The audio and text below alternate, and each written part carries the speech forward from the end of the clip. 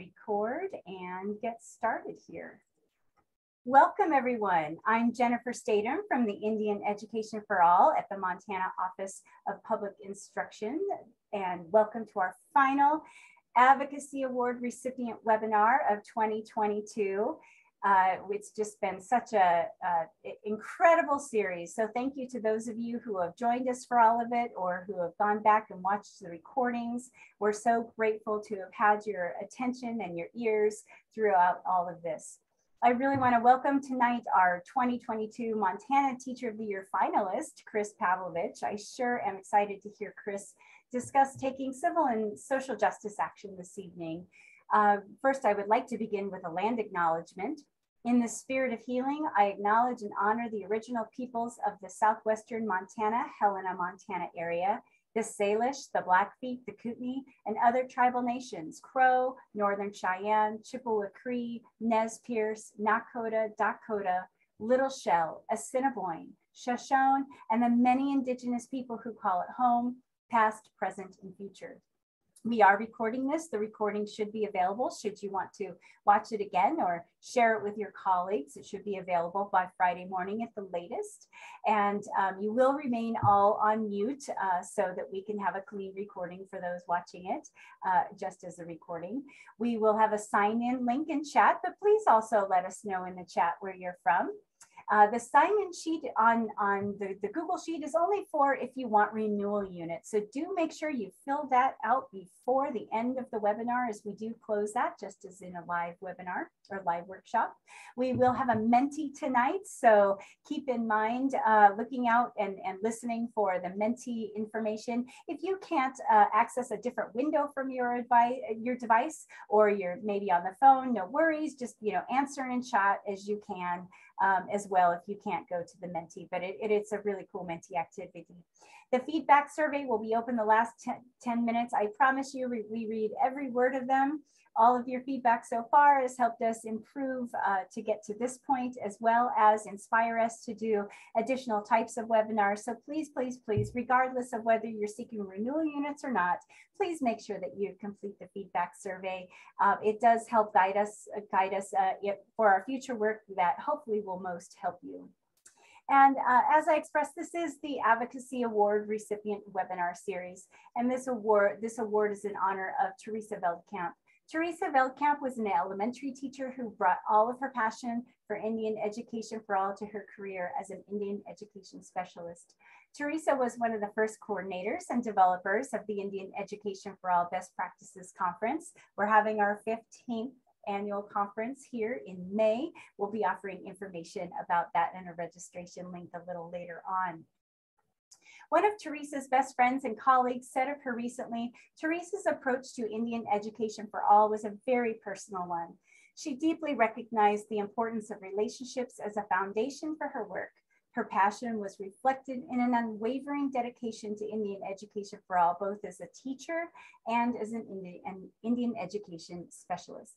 Teresa advocated for Indian education for all, not just as a legal obligation, but most importantly, a moral one, which is so important to keep in mind tonight. Now about our presenter. Chris Pavlovich was a 2021 Advocacy Award recipient, and I offer her a huge congratulations and mazel tov to Chris for her honor of finally receiving the 2020 Presidential Award for Excellence in Mathematics and Science Teaching. She received that award for her science teaching, and it was finally awarded this year. I first met Chris Pavlovich 10 years ago on a very cold, rainy, snowy, sunny spring day at Fort Parker at a collaborative student exchange that former advocacy recipient uh, Robin Lovick and a few of her co-teachers in Livingston and Valerie Fallsdown from Pryor created. They, it was called the Building Bridges, Building Friendships program. Since then, she has brought Indian education for all all the way to Mongolia with place-based educational strategies she shared with teachers there. Chris is an integral part of the Montana Partnership with Regions for Excellence in STEM, or the MPRESS project, and she contributes to the heavy lifting by developing OPI Teacher Learning Hub placed courses such as the Watershed course, which is still available on the Hub for free, Uh, she also serves as a science assessment item reviewer, as well as providing excellent presentations at statewide conferences and professional development events. I thank you so much, Chris, for all that you have shared of yourself and your growth in Indian education for all, as well as your passion and expertise that you share with teachers far and wide. Welcome. Thank you for that lovely introduction, Jennifer. I'm going to go ahead and share my screen. Um, welcome everyone. Thank you for being here on a gorgeous spring day. I know that that's uh, difficult and so I appreciate dedication and just bear with me while this gets rolling.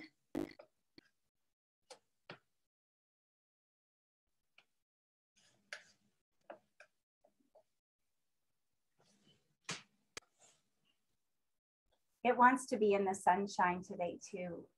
I guess so. It's really, um, I had a student once that I was talking to, Miss Pat, hold on, I'm buffering.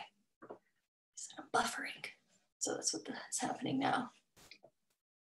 I I should try it again. I don't know if that would actually help. I do have it in my Google Drive if you have any issues. But in the meantime, um, can you tell us while it's loading, could you tell us a little bit more about MPRESS? About MPRESS, yes. So MPRESS was, I think it was started in 2012 and its goal was to um, familiarize and roll out the Montana science standards. So this was before Montana science standards were even um, invented at that point. And so Montana partnerships of regions for excellence in STEM, you know it's education if you have a, an acronym in the acronym, right? And so it was created to help Montana roll out next generation science standards, really dig into those, parse out some practices and think about what pedagogies um, to pursue NGSS with. And so we were one of the leading states to be able to parse that out. Jennifer, I'm wondering if we shouldn't um, you know, it worked perfectly on our practice, of course, right? I'll just try to pay attention and um, you can let me know when to advance the slides. Okay, I'll just slide. So let's let's just go ahead and get rolling and go to the next slide so we can get this going. So first off, uh, my deepest gratitude to my mentor in Indian Education for All, Robin Levick. This work would not be possible without your wisdom, which spurred and guided my learning from the first bud. Thank you to my teaching team, leading true professionalism as we learn and grow together. We are indeed stronger together, and we would not be the team we are without the dedicated and unwavering support of our administration, Bob Stevenson, Leah Shannon, and Dr. Lynn Scalia. Um, Lynn Chief, your guidance gave words and consciousness to a professional and personal endeavor. It's been an honor to learn from you. Expansive gratitude to Mike Jetty for deep and honest discourse about the complexities of this topic.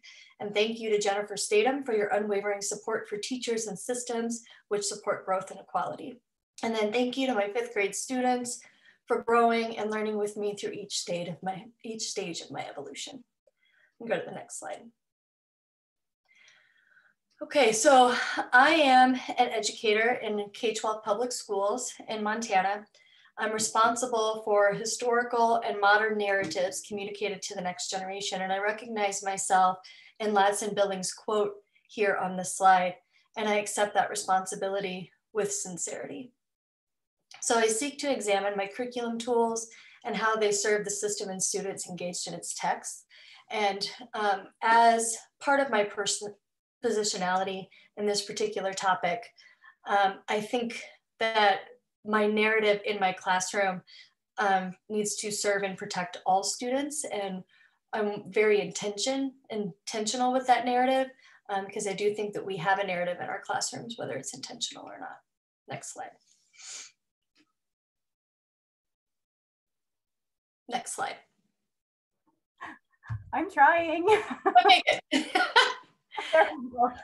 everybody. So this is an original conceptualization of critical race theory. So I'm just going to jump right into that, right? And um, I'm really talking today about a textbook that was utilized in my classroom and that was um, prescribed as curriculum in the K-12 school system that I work in. And so um, this is, you know, a real hot topic right now, and I had to do some examination. Do I say these words? Do I talk about critical race theory in an hour presentation in which I'm going to be recorded? And the answer that I came to was yes. And so um, you could go to the next slide. Critical race theory is an examination of society through the lenses of systems, power, and experiential truth. It's a compass which can guide educators and lawmakers on the principles. And, um, and I quote uh, Taylor in 2009, a resistance to the unequal and unjust distribution of power and resources. So keep going. And so um, I am going to ask you if you can match the words to its definition. This is something that you can just kind of do on your own um, and like make a little note or a mental note, or you can put answers in the chat. Um, just some ideas, you know, get the juices flowing, thinking about these words of accessibility, equity, inclusion, and diversity. So can you match the letter with the number that describes the term?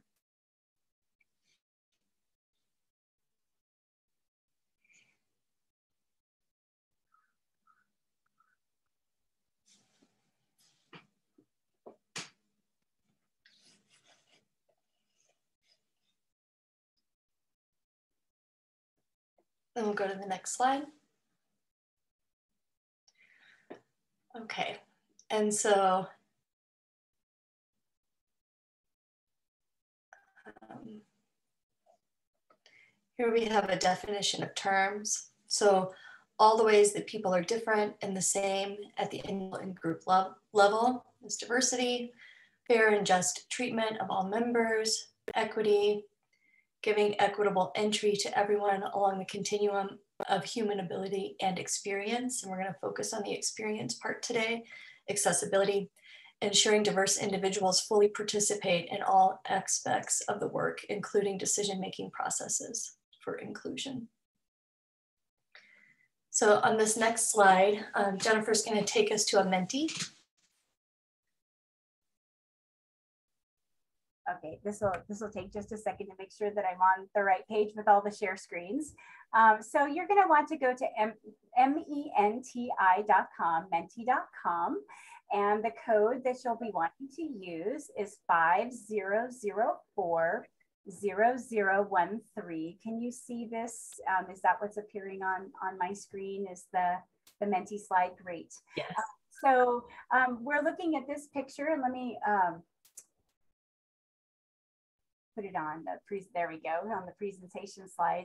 So can you find examples of diversity, equity, accessibility, and or inclusion in this image? And when you go to www.menti.com, M-E-N-T-I.com, and use the code 5004 0013, you'll have a little template that you can um, enter your answer. And again, if you're not able to switch screens um, and, and you are able to at least go to chat, feel free to answer in the chat and um, I'll let Chris monitor that since I'm between a couple different um, screens here. Although you might want to see if your, um, if your presentation comes up while we wait um, a few minutes here, Chris, to, to see if folks populate.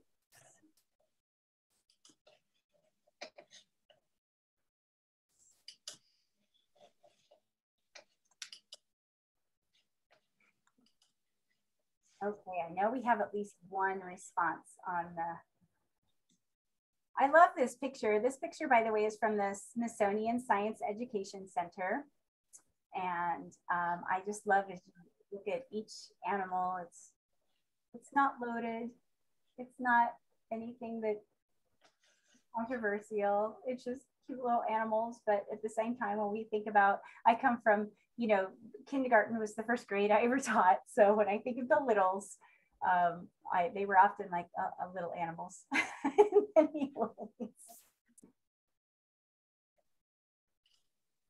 Great. More and more responses. And I see that you, you all are trying to get there. So again, menti.com and then use the code 50040013. And let me um, escape out of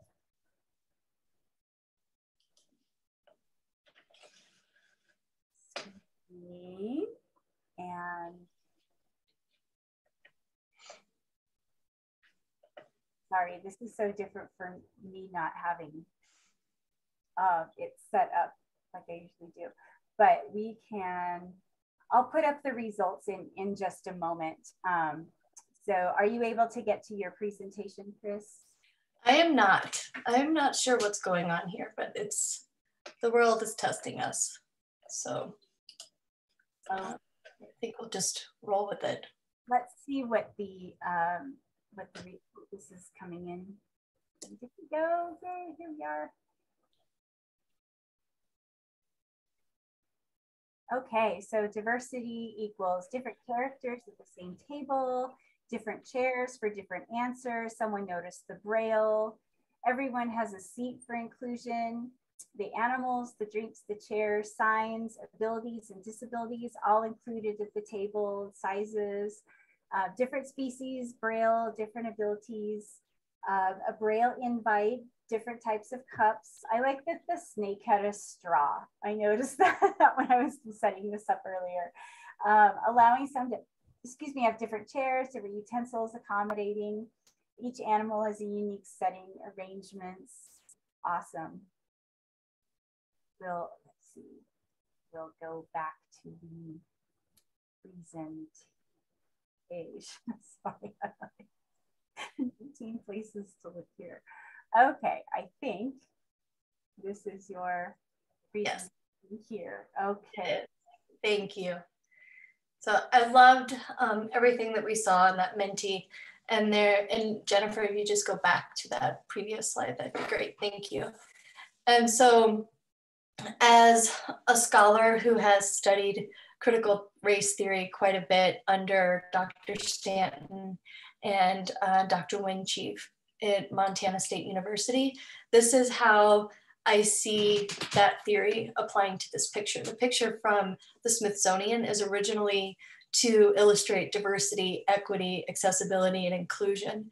But what critical race theory does is we look at that as a systematic, systemic, right? And at the systems level and look to see who's included, um, how are they included, what tools do they have, what is the experience of that person and or animal um, in this case, and how does it compare to others? And I want to um, note that for all of the comments that were listed on the Menti, uh, nobody talked about someone else not having something or you know feeling guilty about who is at the table and so really when we think about critical race theory we're looking at who is included how are they included and on a systemic level. And so we're thinking about laws and then as far as at a school level i'm thinking about the curriculum itself and how does it include or exclude the experiences of groups of people that i'm representing in my classroom. And i also want to note um, that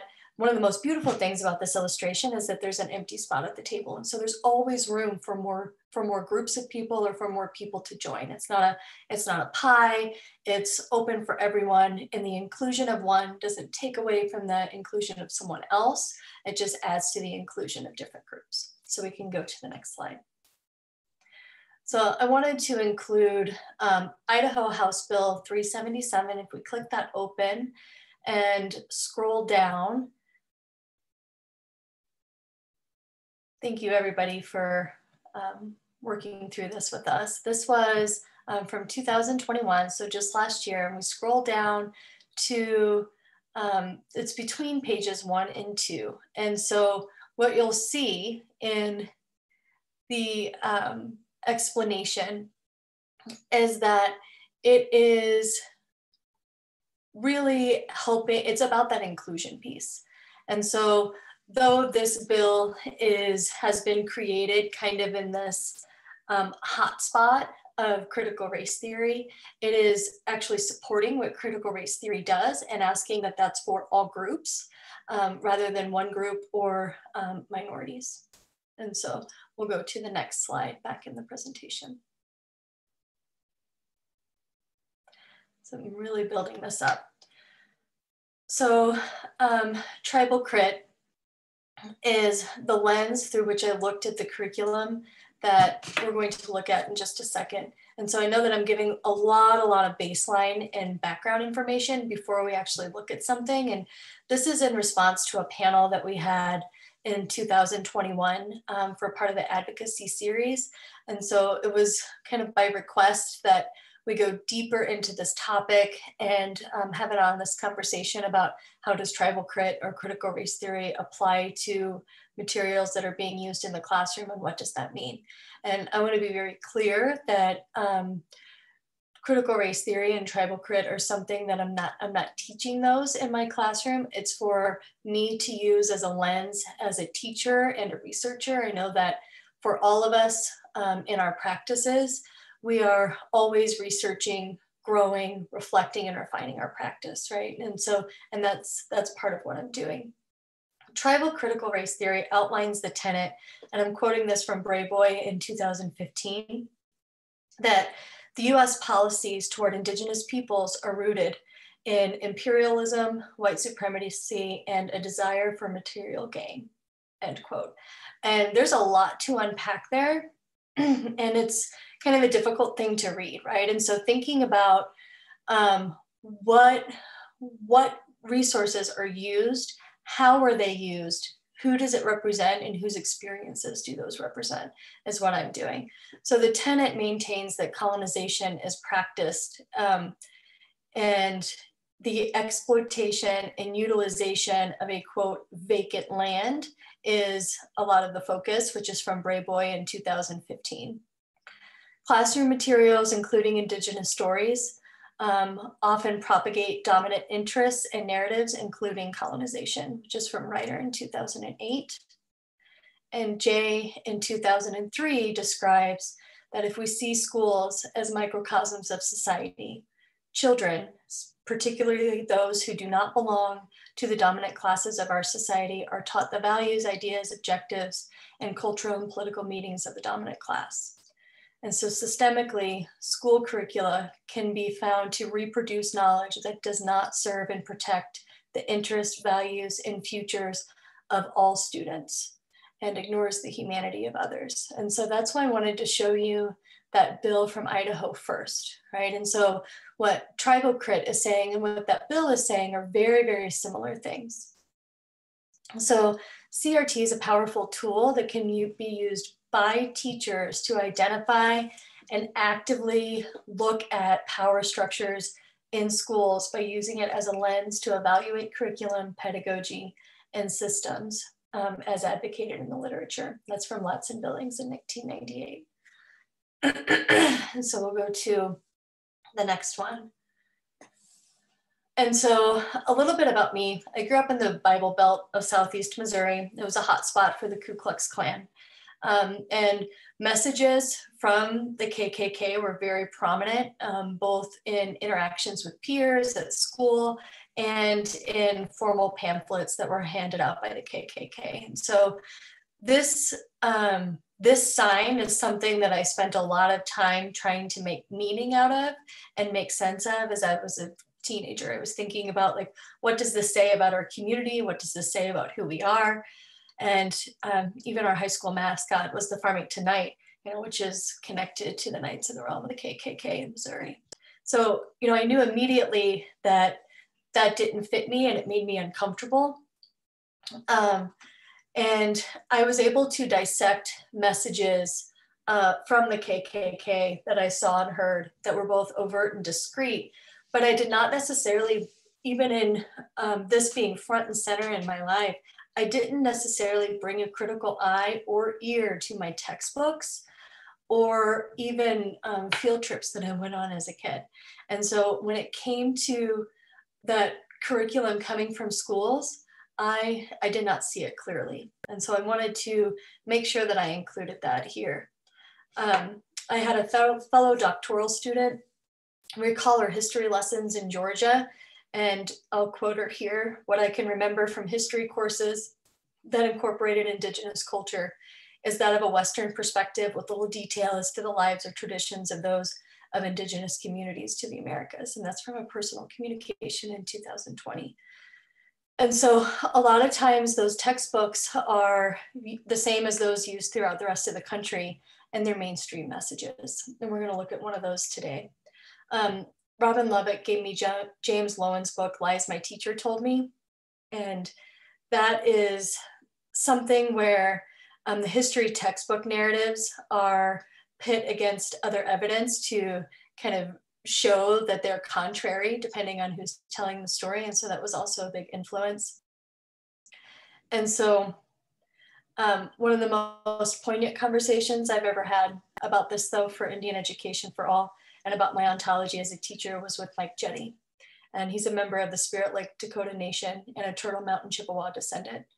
Um, Robin Lovick introduced us when she invited him to speak to families at our school about stereotypes of Native American people and mainstream culture and media. And he's visited as part of his role as an Indian education specialist at the Montana Office of Public Instruction. Before his presentation, he had dinner with the fifth grade teacher team in Livingston, Montana, and spoke about his experience as a young American Indian in the United States, growing up around mainstream narratives contradicting who he was. And so what I am doing in this um, more formal study in my classroom is thinking about a group of people um, according to tribal crit and critical race, but I always think about that one person and specifically in my mind, I'm thinking of Mike Jetty, you know, young Mike Jetty and what is this narrative um, communicating to someone sitting in that classroom. So we can go to the next slide. So we're going to look at a textbook that is from the conglomerate um, that's the merging of National Geographic Learning and Cengage. Uh, it's a 2017 edition, so it's fairly recent, and it's a fifth grade test textbook. Um, the textbook is published um, under a partnership between this, these two companies, and the size of that company can be measured by approximately 5,000 in almost 40 countries. The company has transcriptions from districts in 50 states. And so we're thinking about that being a message that is across the United States. Um, and it is also in, um, it also relies on teacher fidelity to the curriculum as a significant variable in success. And that's from the National Geographic Learning website in 2020. We'll go to the next slide. So I performed what's called a critical content analysis. And this was done and cited by Johnson et al. in 2016. I applied that to this particular textbook. This is the opening of Unit 6, which is called The Wild West, in which the perspectives of a cowboy, Native American, miner, and settler are introduced um, in the textbooks. And so um, Johnson, Mathis, and Short in 2016 defined critical lens, a critical lens analysis as a critical lens to an analysis of a text or group of texts in an effort to explore the possible underlying messages within those texts, particularly as relation as related to issues of power. And so we're thinking of that on the systemic level, right? Not pointing fingers at one like one person or another group of people. It's about who's sitting at the table, what are their experiences and how are those experiences honored and protected. Uh, this particular study was modeled from Rodriguez and Kim's in 2018. They did a study examining Asian American picture books and they were looking for bias, authenticity, and identity. The 2018 study examined positionality of book authors, language used in each book, and the publishing date as a baseline data for their analysis. Similarly, in this study, I examined the positionality of text and language used for the four specific perspectives, including cowboy, Native American, miner, and settler.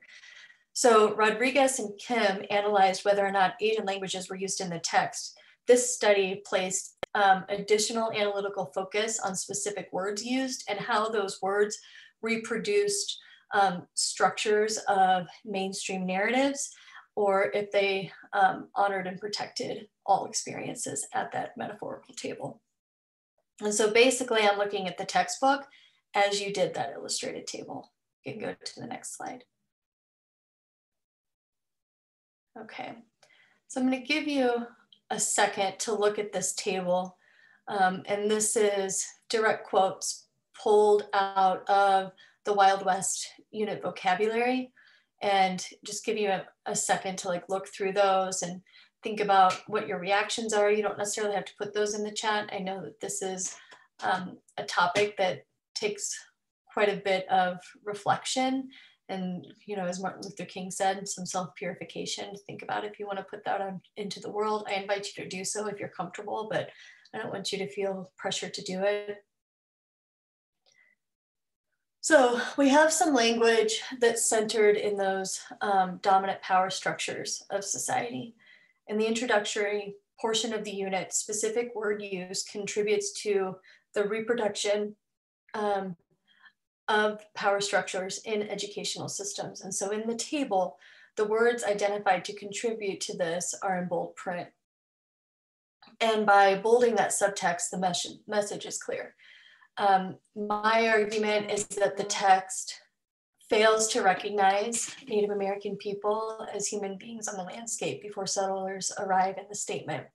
When we look at a frontier as a place where few or no people live, um, that's in bold. It validates that dominant narrative of colonization and it dismisses values and histories of Native American perspectives.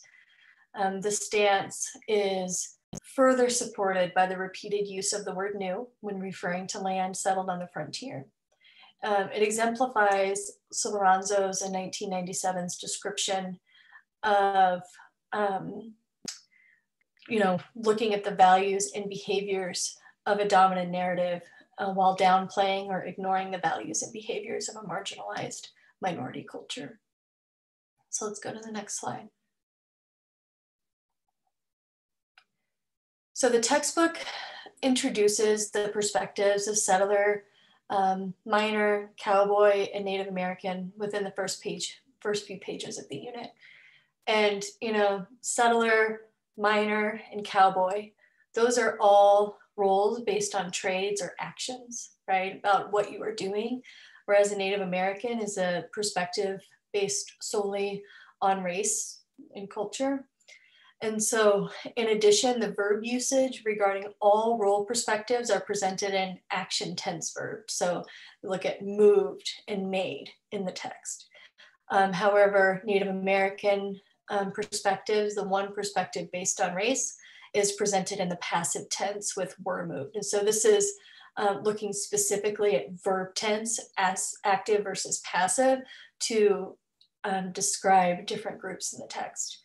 And so while excluding Native Americans as active in historical context, this example validates um, the self-interest of um, of one group while not necessarily validating the self-interest of another group.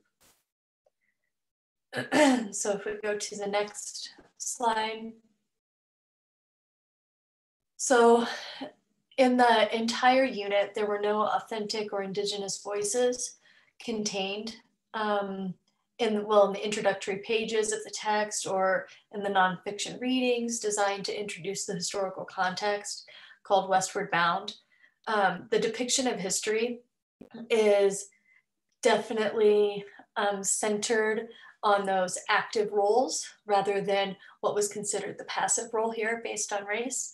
And complementing that passive tense, the Native American perspectives are also the only images on the page not to be depicted by images of people. And so if you look at this particular page, um, cowboys, um, construction workers of railroads and settlers who are, are miners are all depicted by historically accurate um, black and white photos of the Native American. perspective is not. And so my argument for this is that the perspective is quite literally void of its humanity. We'll go to the next page, next slide.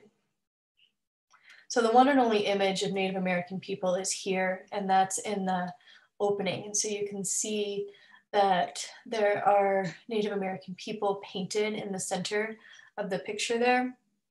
And it's an art piece primarily focused on um, settler and settler action.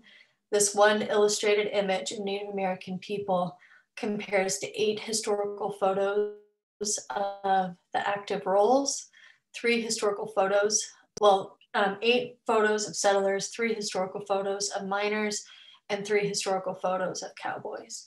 And so the ratio of those active roles versus Native American physical represent, representations is 14 to 1. And so that one being the one that you're looking at. And so it clearly sets those active representations as dominant in this narrative of this text and reproduces that history and value according to um, the, the narrative's construct.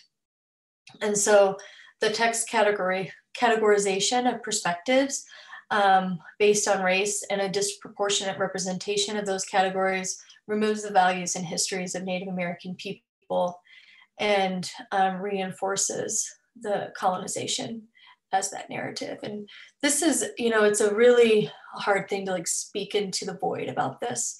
And so I, what do you do about it, right? And so if you look at a textbook that's in your classroom and you know that it's in 50 states and 40 other countries, and this is the narrative, and it's not about, um, you know, it's about how can we, what can we do about this? And so let's go to the next slide. And so uh, we're gonna go back to Dr. Martin Luther King Jr. He wrote a letter, letter from the Birmingham jail in 1963. And he outlines four specific steps. Right. The first step is to identify injustices. And so that's what I've done here in um, the critical analysis of the textbook.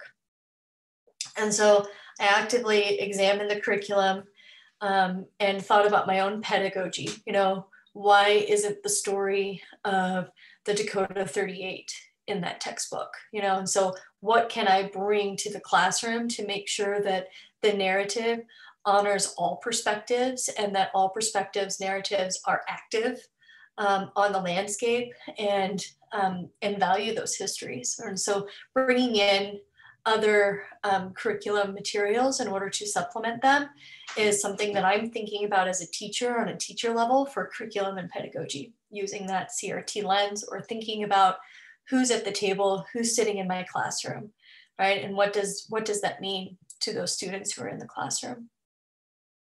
The next step, according to King, is negotiation, right? And so that negotiation for me was thinking about how to bring things in, right?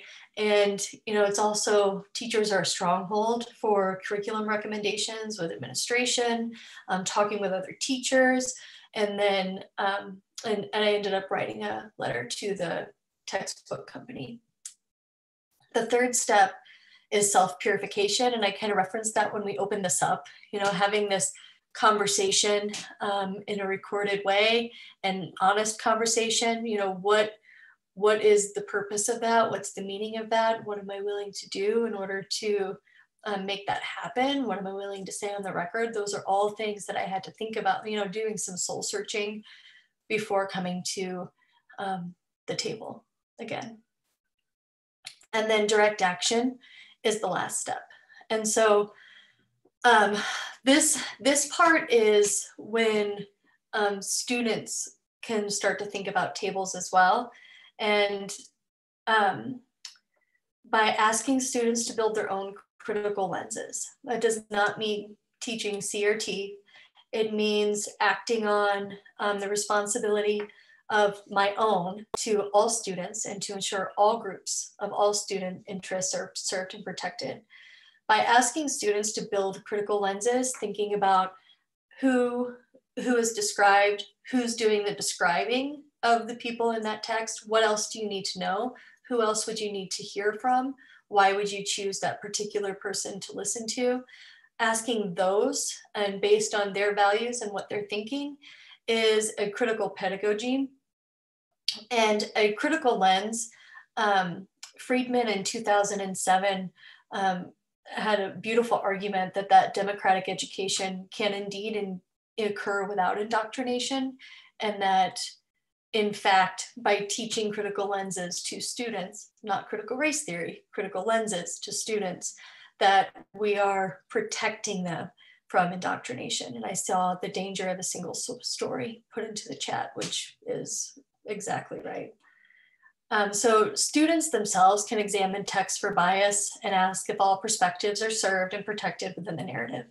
Um, this pedagogy does not come without risk and requires a revisit of that self-purification step to, risk, to weigh the risks against those outcomes. But conversations with other teachers and administrators about curriculum that is brought to the classroom is going to be very important for that as well. Uh, schools, you know, they serve a lot of vital roles in our community and in our society. And, you know, my goal in the classroom is to make sure that I'm not just replicating and reproducing knowledge of the past, but creating thinkers who are also creating new knowledge and thinking about how they're making meaning of stories and the narratives that are around them according to who they are, right? Because when we're thinking about history and literature, I think those are those topics that ask us, who are you? You know, who are you and what do you believe in? What do you want to do? How, what does it mean? And so a classroom in action um, can create thinkers with new knowledge and rebalance some power structures in educational settings. Let's go to the next slide.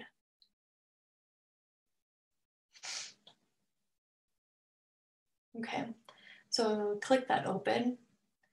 And so um, I wrote this up into a formal study and with the numbers there and um, Mike Jetty put a comment about self-purification makes me think that all of humanity needs a good sweat lodge ceremony for some purification. Love it. Um, so I emailed the company the letter, the study, and emailed them, you know, this is National Geographic, you know, what, what your company claims that it's for every learner, right? And, and what, who you are as a company, we have an opportunity to do better, right? When you know better, you do better. It's Maya Angelou. So um, what, how can we do better here? And so um, I didn't get a response. And so I ended up looking up the particular authors, specific authors of that textbook, found email um, for them, whether, you know, via their institutions or wherever they were working. And I sent them a specific, you know, your name is attached to this. This is what I found when I'm doing this. What about the story of the Dakota 38? What about including um, active voices and stories about Native American people on the landscape then and now. You know, what does that look like? Um, and I attached their legal department and um, their marketing department as well. So I started to get a little bit of um, juice after that. So I was throwing some metaphorical elbows via email and it went back and forth and eventually um, did land a Zoom meeting with one of the executives, and um, she agreed. She read the study, she looked at it, and she said, I want to do better. That doesn't mean that the conversation and the print about cowboys necessarily goes away. They're still at the table. It means making sure that the experience of Native American people is also there and accessible to, for everybody. Um, and so this is the, well, I should back up because first they killed the textbook and said, well, we'll we're not going to print that textbook anymore. So it's, you know, we've killed that and problem solved, right? No, right? How, especially schools that are in poverty, we know that budget cuts are a huge thing, right? And so what about the schools that are still going to have this textbook for 10, 15 years, right? What are we going to do about those schools? because there are schools in 40 countries in 50 states where students are reading that, right? And the message is not necessarily as a fifth grader, even with the overt KKK message coming at me that I was wrestling with, I wouldn't have questioned that, right? You read it, you take it in. I wasn't taught a critical a lens. And so, what are we going to do? And so, their solution was to um, create an addendum. And so, this is a pamphlet that's being sent to every school district that is subscribed to this particular textbook um, in all 50 states and in all 40 countries. And it is making sure that that Native American experience, both then and now, it's even titled that, is at the table. And so this is back to Martin Luther King's um, four steps, right? The identification of the injustice, right? Um, negotiation of what can, what can I do at my own level to make sure that my narrative in the in the school in the classroom is intact.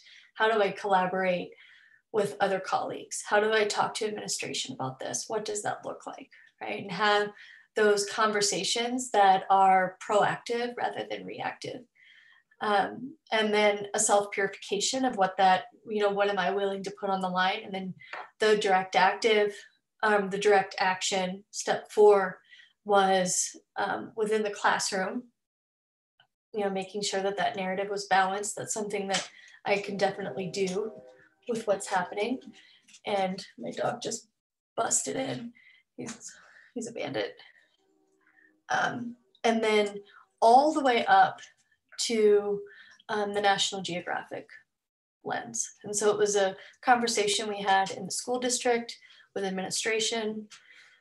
Um, and this this was the result of that, right? And so I ask you to think about, you know, what is in your curriculum?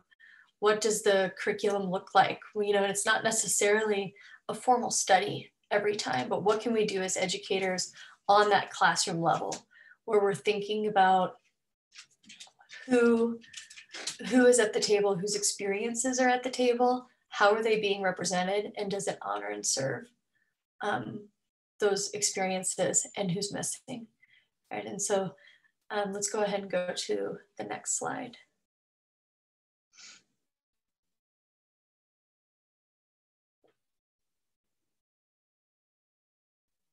And this, this is the last slide. And so in an era of education in which administrators and textbook companies are demanding fidelity of textbooks as curriculum, your lens as a teacher and your critical perspective is invaluable. We must answer Bell's call to action from 1995. Think about Martin Luther King's Jr.'s outlined four steps in that letter from a Birmingham jail. And apply those to the classroom setting and bring theory of who is at that table axis. How do we talk about that every day? What does our scope and sequence of the year look like? Is there a narrative um, it, there is a narrative there, but what is the intended and the unintended narrative that's there? Who's included, who's not included? We create thinkers with new knowledge in schools. We also replicate and reproduce knowledge of the past. And so classrooms in action can create thinkers with that new knowledge and rebalance those power structures in educational settings. Um, this presentation calls classrooms to the critical action of creating new knowledge from um, these old and sometimes imbalanced systems. So looking for those and thinking about it and, and having a conversation, starting that process. So I really thank you for being here. Um, we've got quite a bit of time at the end for a conversation. Um, Jennifer is going to put up a because it and sh- just to kind of clarify um, we can do question and answer on the chat um, but this Menti it's also an opportunity to participate anonymously if this is something that you don't necessarily want your name attached to um, that's that's definitely doable.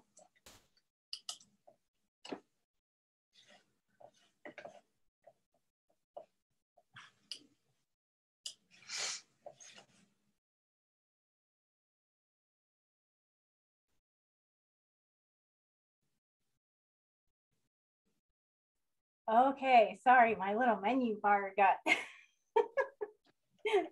okay, um, so yeah, if you want to go back to, um, can you see the the Menti uh, screen? Okay, because I my menu bar went missing, so I wasn't able to double check it. But what are your thoughts and feelings about what you've heard tonight? And this is just you know a short answer, and um, and we don't have to share uh, the results of, of this part, but we would love to know, you know, what are you um, feeling and thinking? This is a heavy topic. Um, this is a topic where, um, you know, we, we not only have uh, potential, you know, passions to, to, to do these things, but we also might be in situations where um, we might have some concerns about, you know, bringing these up because, you know, unfortunately, there are places where, um, you know, we might be seen as, as the minority. And so, um, Chris, while, while folks are thinking about this and, and ruminating on, um, on potential questions that they have, um, I want to know how, how would we learn to look for whose voice is missing? How, how, how do we acquire that skill and how would we teach that to our students? Do you have any ideas on that? Um, I actually take a tally sometimes, right? And so we look for perspectives. Um, we do a lot of species management work in our science classes. And so if we're looking at who's at the table talking about wolves or grizzly bears and who's talking, we'll actually, because something that can look fairly balanced, if you do a quantitative, this is how many times or how much time was given to this particular perspective, you can think about that. Um, but a lot of that comes from a lot of research, right? And so that's something that um, might not necessarily stand out right away, or it will, right? It's it's kind of like in that gray area um, because if you are learning about something on a particular landscape, and you know, for us when we're thinking about species management, I am always thinking about the Apsáalooke, right?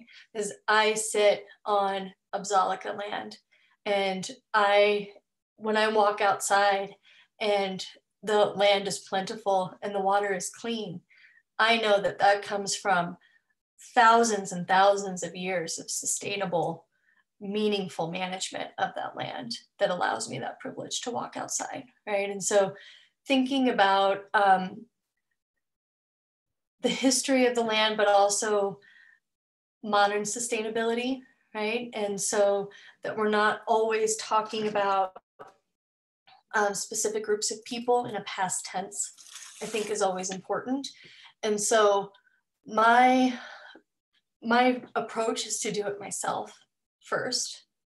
And um, students, depending on their lens, because it's a critical lens, right? Your critic how critical that is and what you're thinking about is going to be based on your own experiences and what you've learned and what you've um, what you know. And you don't know what you don't know. And that's the that's the part where you get to um, i'm thinking as an educator what about Apsáalooke voice in wolf management right? Is a student in my fifth grade classroom going to think that immediately? Maybe not but that's where I'm bringing narratives of place-based, you know, place names and um, practices of sustainability so that those narratives are there and bringing them in in a different way. And then we're thinking about who's there, you know, so if my narrative throughout the scope and sequence of my year includes parties at that table, you know, all parties at that table, that's going to help. Now, is it possible to represent every perspective all the time, right? And in full. Um, that's that gets really sticky, you know, and that's where that critical part is important because everybody's lens is going to be a little bit different based on their experience, right? And so Uh, but if students can think about um, think about those perspectives and talk to each other, you've already multiplied the perspectives that have been discussed, right? Or if I say, what about that? Do you think this perspective should be there? That's, you know, something that is done too. Yeah, I think science is such a great way sometimes to to it's it it seems like yes, science in itself right now can sometimes also be controversial, but science as far as, you know, what what it should be as far as the purity of its instruction can be a little bit less emotionally weighted than than history, you know, where where folks may have, you know, personal ties or personal interests or or whatnot. So so that's really fantastic. And I know uh, one of the things that I really liked about the picture that you shared from the Smithsonian for the original activity, um, you know, was the the aspect of accessibility. And you know that's something that a group that I am I am uh, deeply connected to. Uh, you know, our leader recently said, "Gosh, you know, I never thought about the impacts of accessibility and I never thought about by not making something accessible. So, you know, sometimes my presenters get a little like, oh, you know, what do you mean it has to be, you know, my presentation has to be visually accessible and the pictures have to be in there. And, you know, the thing of it is, is we have, there are all of these accessibility tools out there now. They're, you know, through PowerPoint, through um, the, through Adobe and, and, you know, making a PDF and things like that, places that we can check.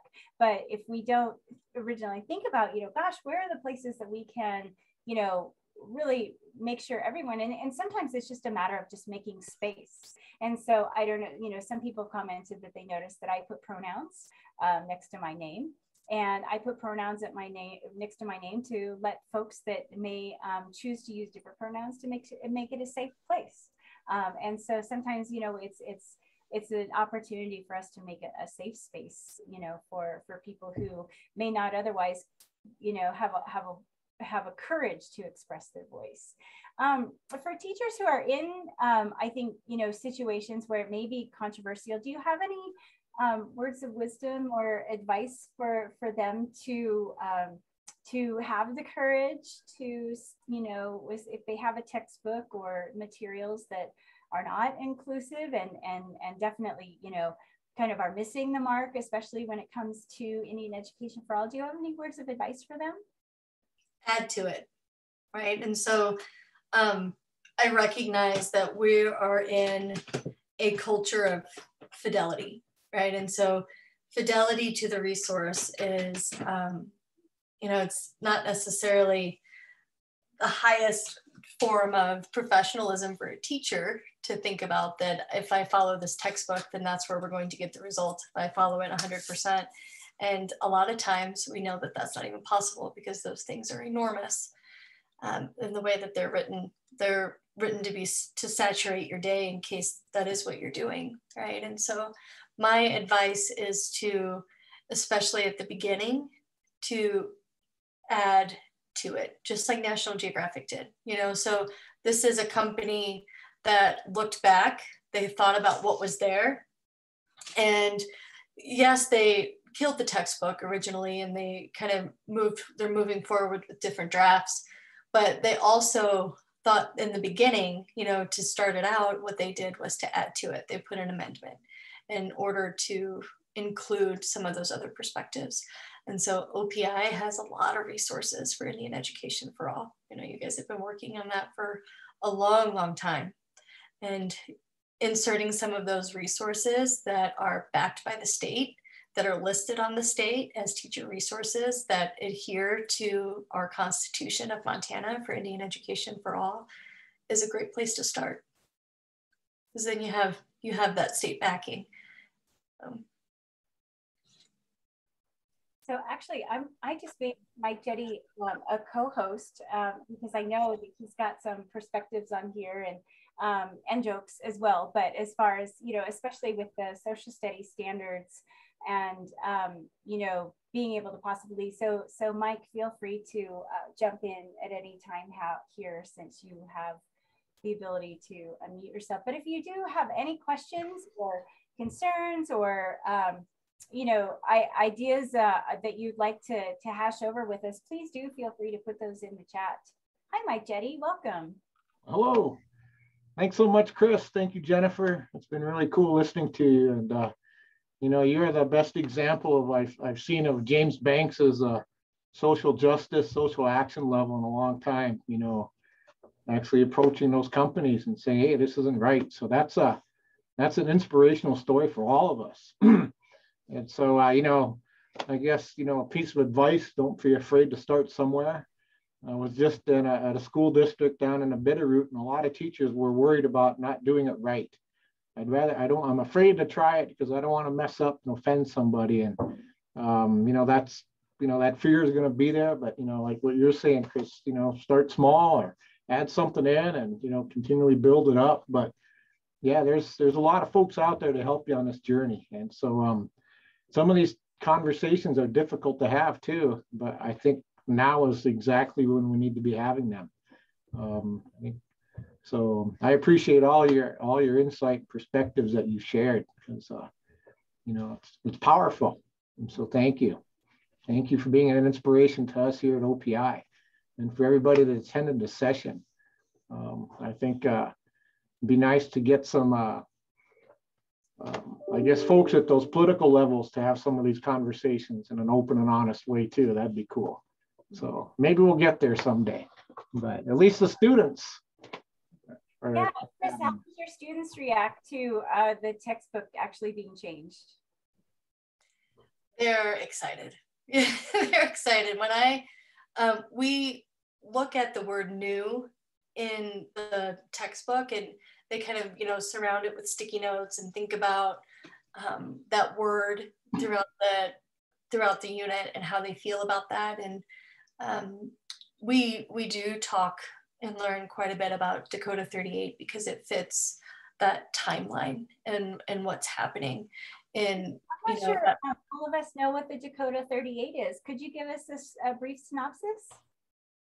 I could. It's connected to the 1862 um, Sioux uprising, and so you know, Civil War. The North was fighting the South, um, but the Union was also um, fighting indigenous people for West, right? And so there were really two wars happening at that time. You know, typically we hear a lot about the Civil War, but not necessarily about that other one. And so this is following the Homestead Act, in which um, that dominant perspective is free land, you make it, you improve upon that land, you know, they call it prove up um, by conquering it and um, growing your own, you know, growing food, agriculture. And so the Sioux were, you know, they were put into um, reservations and they fought. You know, their their rations were taken from them and were being skimmed off the top is um, how it's been written. And um, you know the the guy who was taking that and distributing it for wealth said we'll let them eat grass and they he was later found um, with you know dead with his mouth stuffed with grass as far as um, as a retaliate retaliation. And there was um, there was a war and it was and it was fought in self-defense you know as far as you know it's if, if someone came to your house and tried to take that house from you what would be what would be the reaction? And they called that the sioux uprising. And um, abraham lincoln sentenced um, 38 plus two um, sioux leaders to death um, by public execution it was the largest public execution in our nation's history. And at, there were um, over 300 that were sentenced to die that day and ended up being 38 plus two. And the Dakota 38, there's a, and, and really not the expert to speak on this, but I will since you asked. They um, have a documentary that's there for free, and the message is um, resilience and reconciliation. And there are writers that go every year to Mankato and honor ancestors who died um, fighting for their families. I had families on both sides of that conflict from my family history. It's pretty wild.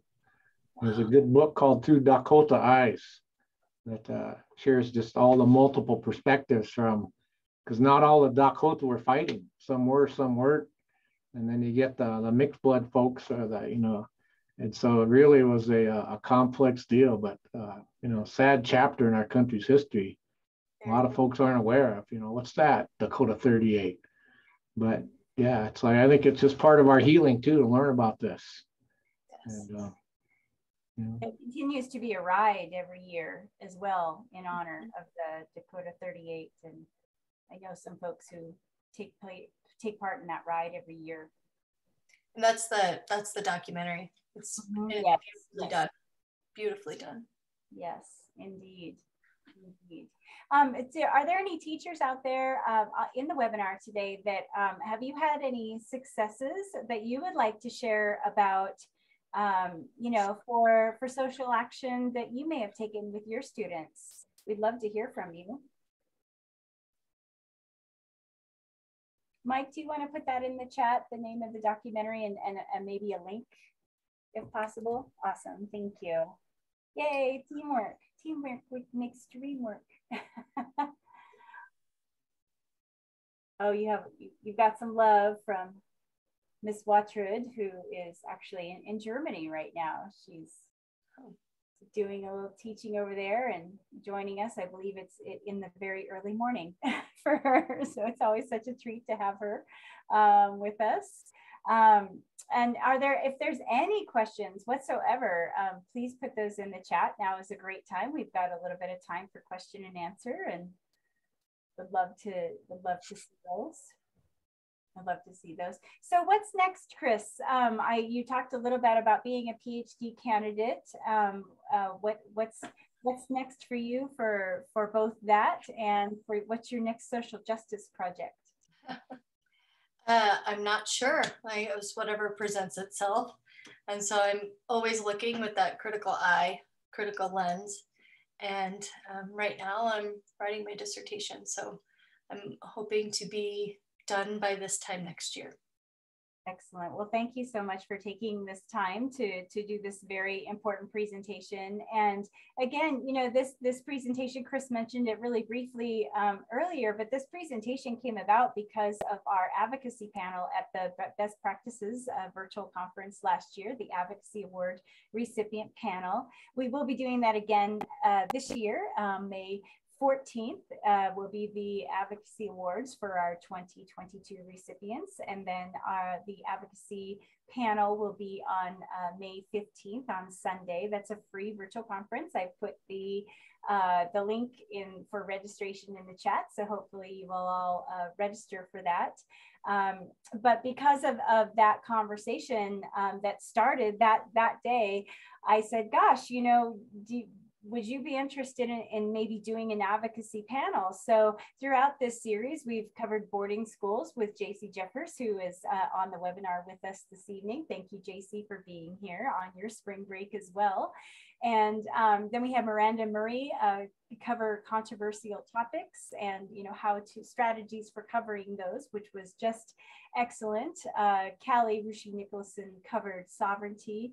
Um, Bill Stockton, our, our 2022 Montana Teacher of the Year, covered uh, using tribal documents and, uh, and other types of primary documents um, in, in curriculum. So we've had a really incredible, uh, Amy Williams talked about community. Gosh, that was a really, that was a really poignant um, presentation as well. So they've all been just very excellent. But this all came from your feedback, ladies and gentlemen. This all came from um, your contributions. So really, really, this is, um, I want you to feel like you have, have a voice in the next uh, few minutes here. So um, is there anything else, Chris, that you can you can and say to encourage teachers, um, you know, on on really taking a look at this, especially if they do have prescribed textbooks or um, you know curriculum that is that is more or less suggested that they do.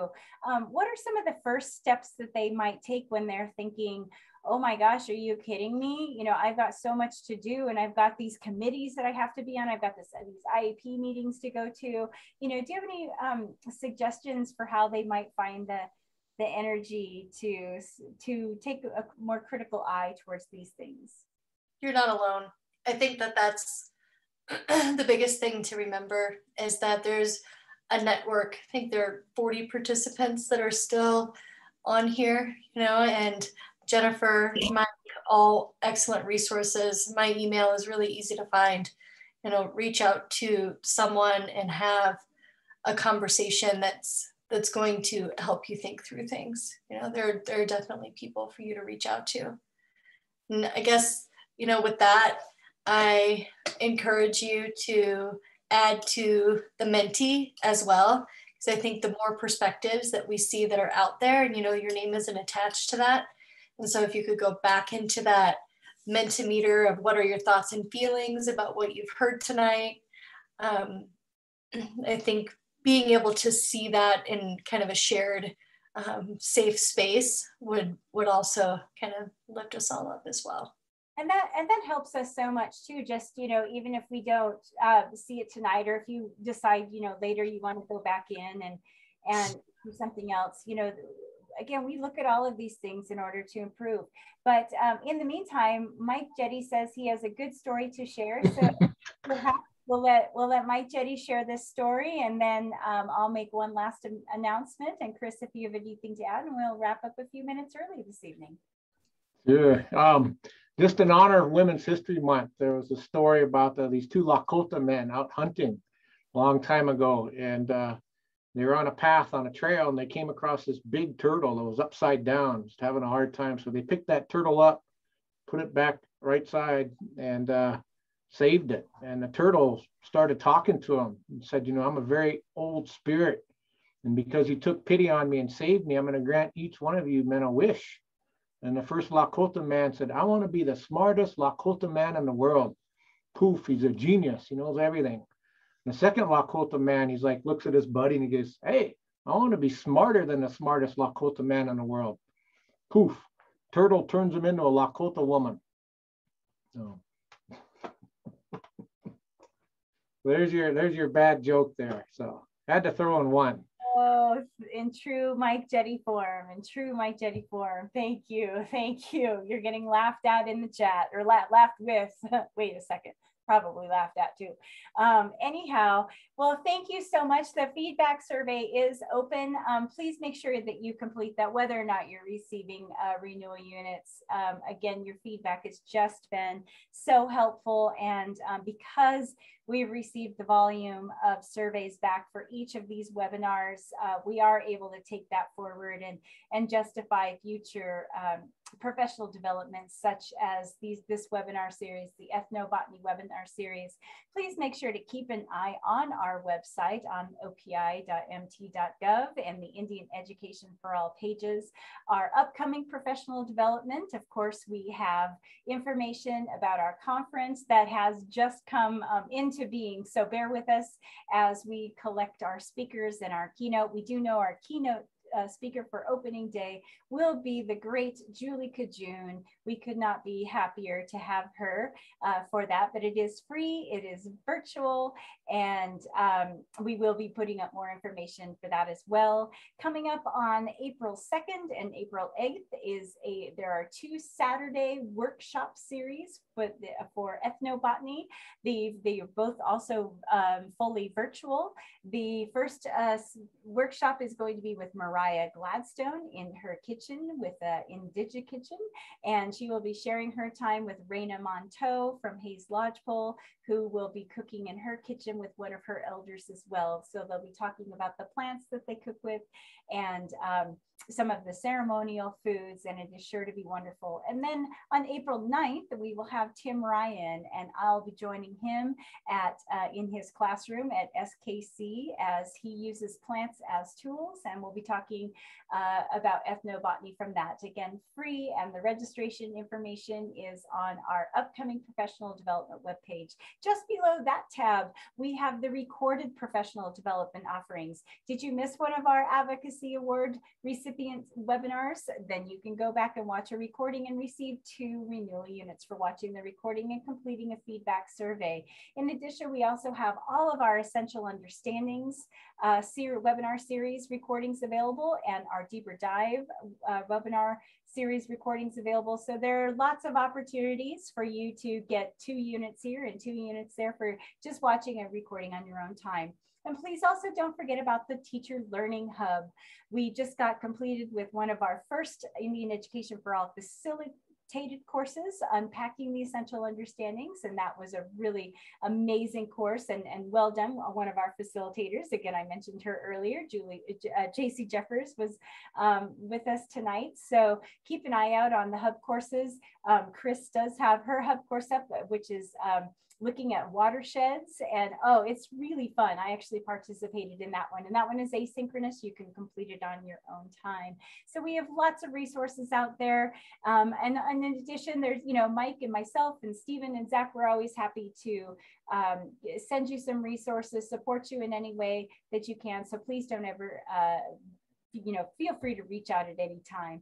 Chris thank you so so much. Um, thank you for for getting better so that we could uh, do it this week. Thank you everyone for your understanding as we postponed to this week. And I hope you all have an incredible spring break. I'm so jealous that you all get one. I hope you all are staying healthy and um, enjoying some of this warmer weather and um, stay safe. And we will hopefully all see you all at best practices. Thank you so much, everybody.